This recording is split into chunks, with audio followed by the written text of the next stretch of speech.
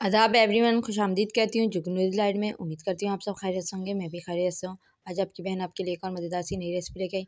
आज हम बनाएँगे ग्रीन अनियन चिकन यानी कि हरी प्याज चिकन तो उसके लिए मैंने ये चिकन ले लिए बोनलेस धो के रख लिए। हरी प्याज ले लिए, टमाटर लिए लीमू लिया है, हरी मिर्चें लिए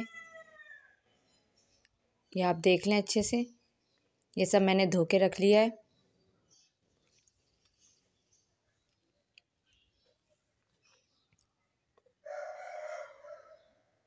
जो लोग नए हैं वो मेरे चैनल को सब्सक्राइब कर दिएगा। अब ये पैन ले लिया है। पैन को मैंने धो के चूल्हे पे चढ़ा दिया है। चूल्हे की आज मैंने दरमियानी रखी है। जैसे ये सूख जाएगा, इसमें हम चिकन डालेंगे। जो मसाले डालेंगे वो भी मैं बता देती हूँ। इसमें काली मिर्चें पिसी हुई डालूँगी, नमक डालूँगी। अच्छा लहसुन का पेस्ट डाल लें और अदरक का पेस्ट डालें आप अदरक, लहसुन काट के भी डाल सकते हैं। मैं पेस्ट डाल रही हूँ। चिकन डाल दी थी पैन में। अब ये लहसुन, अदरक डाल दिया, काली मिर्चें, नमक भी डाल दी मैंने साथ में ही। इसे चलाएँगे थोड़ा सा अच्छे से। पानी हम इसमें नहीं डालेंगे बिल्कुल भी।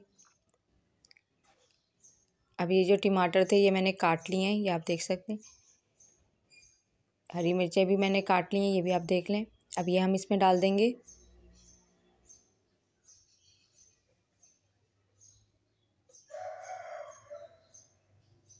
ये डाल दिए इसमें।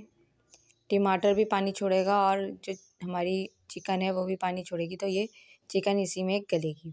अब हरी प्याज को भी मैंने काट लिया, ये आप देख लीमू को आधा कर लिया है। आधा कर लिया है। अब हरी प्याज डालेंगे पहले हम इसमें।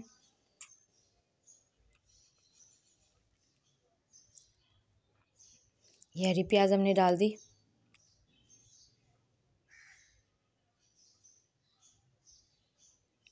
अब इसमें नींबू निचोड़ेंगे पहले आधा निचोड़ेंगे फिर आधा निचोड़ेंगे नींबू। एक नींबू लिया है मैंने। आप आधा नींबू आप खटास अपने लिहाज से डालिएगा। आप आधा नींबू भी डाल सकते हैं। अब इसे हम चला देंगे नींबू डालने के बाद।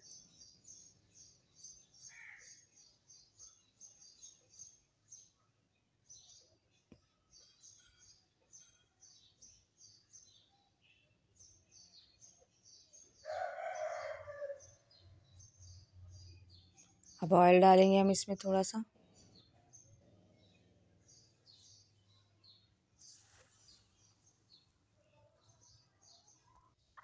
ऑयल डाल दिया है।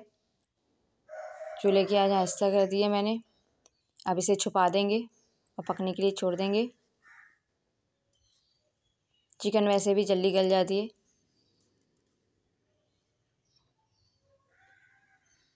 अब खोल के देखते हैं।